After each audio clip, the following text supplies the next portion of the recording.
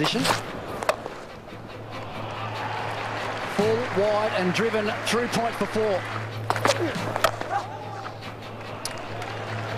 Pretty good with that shot, Steve Smith. Doesn't really come forward very often, but he just uses good timing.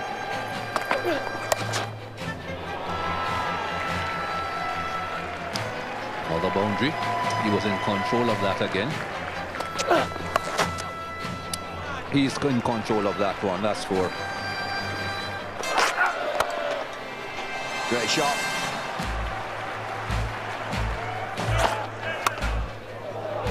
All four more. Clattered. Oh, that was wide. Whoa, that was wide. Brings up his half century though.